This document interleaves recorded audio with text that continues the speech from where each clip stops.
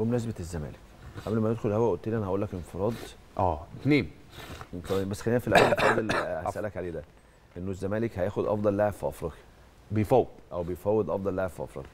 وهنا قبل ما قبل ما أقول لك هو مين اللعيب وقبل ما أقول لك مين كلمه وكلمه إمتى. اللي هو محمد شناوي؟ لا. هو آخر لاعب أفريقي في مع فاز بال فاز بالجائزة ديت؟ محمد الشناوي هو طبعا. لا لا لعيب لعيب في وسط الملعب؟ قبل ما أقول لك قبل ما أقول لك مين اللعيب خليني أقول لك إنه الاستغراب. واللعيب واللعيب أنا اتكلمت مع اللعيب. واللعيب عنده الاستغراب ده لأنه عنده المعلومة ما بقاش حاجة بتستخبى يعني. إن الزمالك عنده أزمة مالية كبيرة جدا جدا.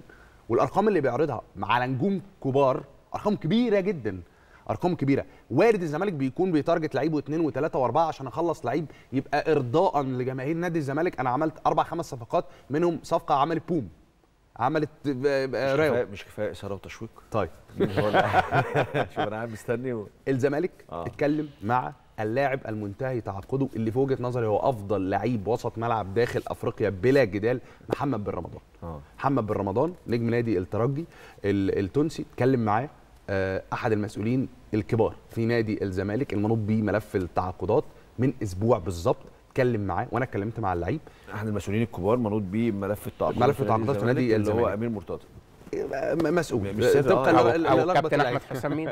مثلا. بس عشان هو آه، مسؤول. آه، طبقا لرغبة اللعيب يعني. ماشي. آه، وعرضوا عليه رقم إنه أعلى لعيب أعلى لعيب. خد رقم في نادي الزمالك.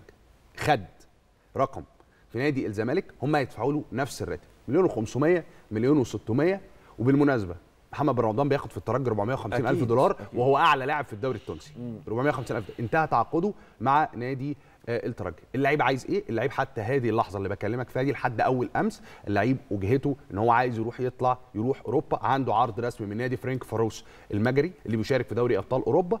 عنده عرض كبير وعنده عرض من فرنسا أقل جدية وأقل ماليا لكن هو وجهته حتى اللحظة اللي أنا بكلمك فيها دي اللعيب عايز يروح المجر عايز يطلع أوروبا رغم إن العرض المالي بتاع نادي الزمالك اللي هو كان عرض شفهي العرض المالي بتاع نادي الزمالك أكبر بمرة ونص من العرض المجري اللي جاي لمحمد بن رمضان حتى هذه اللحظة اللاعب وجهته الدوري المجري حتى يجد جديد. لكن الزمالك كلم اللعيب من أسبوع وده وزي ما بقول لك قصة الأزمة المالية مش أنا اللي قلتها للعيب يعني هو هو اللي بيقول لي أنا عارف إن في أزمة مالية وفي وفي وفي وفي وفي. اتكلمت معاه؟ آه اتكلمت معاه وقال لك كل. التفاصيل دي آه هايل جدا هايل جدا أنت إيه رأيك؟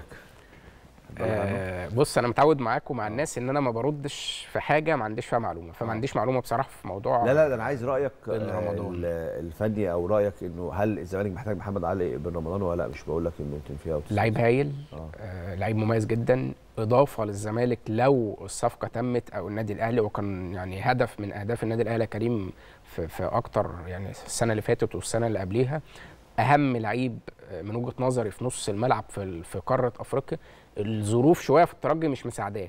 لكن لو دخل في, في team يعني يقدر إن هو الظروف في الزمالك دلوقتي تس- تساعده؟ ممكن السنة الجاية بال... بالشغل اللي الزمالك بيتحرك فيه وال team اللي الزمالك عايز يبنيه السنة الجاية ممكن. لكن لو بنتكلم في الموسم الحالي طبعا الظروف ما تساعدش. دلوقتي.